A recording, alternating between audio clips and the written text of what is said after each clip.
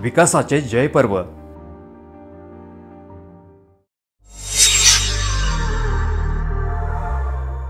देगाव.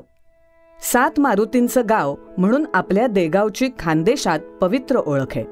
दोन हजार नऊ सालापर्यंत आपलं गाव हे शिंदखेडा मतदारसंघात होतं. तोपर्यंत आपल्या गावात आमदार निधीचा एक रुपयाही आलेला नव्हता.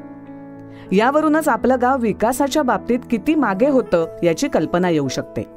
दोंडाईच्या मतदारसंघात आल्यानंतर गावच्या प्रश्नांची उत्तम जाण असलेल्या नामदार जयकुमार भाऊ रावल यांनी गावात जणू विकासाची गंगाच आणली. मतदारसंघात नंतर समाविष्ट झालं असलं तरी जयभाऊंचं आपल्या गावावर किती प्रेम आहे याची प्रचिती त्यांनी गावात केलेल्या विकास कामांवरून येते.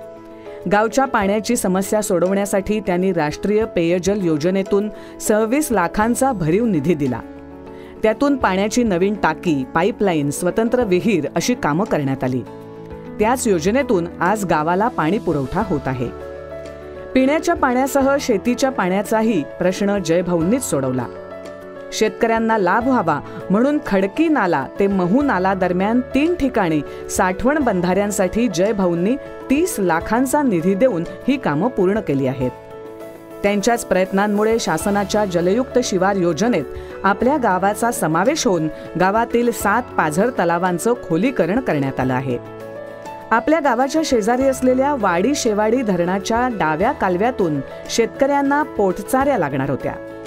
त्यासाठी जयभाऊंनी पाठपुरावा करून निधी मंजूर करून आणला असून त्यातून गट मारुती रवींद्र वाणी यांच्या शेतापासून ते हाटेसिंग गिरासे यांच्या शेतापर्यंत रूपसिंग गिरासे यांच्या शेतापासून सुरेश भाईदास पाटील यांच्या शेतापर्यंत राजेंद्र पंढरीनाथ मिस्तरी यांच्या शेतापासून तानसिंग गिरसे यांच्या शेतापर्यंत आणि छोटू मिस्त्री यांच्या शेतापासून ते सीताराम भिल यांच्या शेतापर्यंत पोटसाऱ्यांचं काम पूर्ण झालं आहे.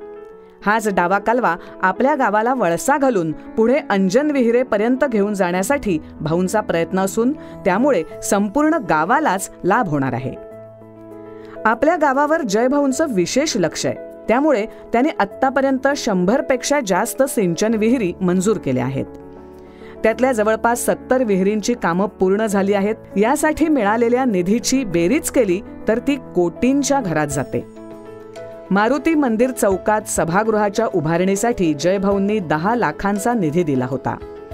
याशिवाय जयभाऊंनी दिलेला दहा लाखांचा निधी आणि लोकवर्गणीतून भव्य दिव्य अशा राम मंदिराचीही उभारणी झाली आहे.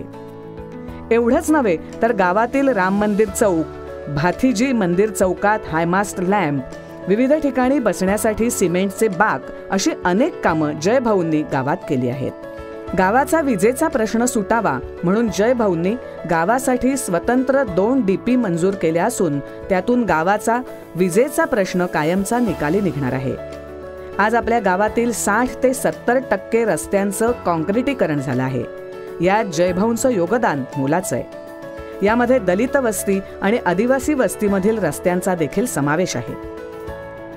गावातील सर्वच गरिबांना घरकुलं द्यावीत म्हणून जयभाऊंचे प्रयत्न सुरू असून त्यातील अनेकांना घरकुलं मंजूर देखील झाली आहेत.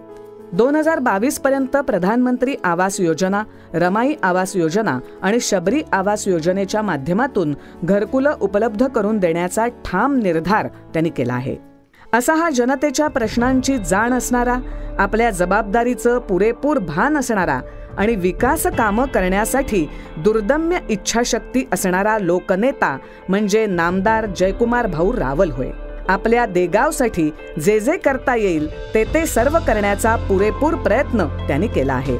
आता वेळ आहे आपली त्यांच्या कामातून उतराई होण्याची त्यांच्या विकासाच्या इच्छाशक्तीला बळ देण्याची.